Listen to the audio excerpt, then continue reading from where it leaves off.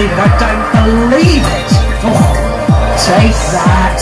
Oh, unbelievable.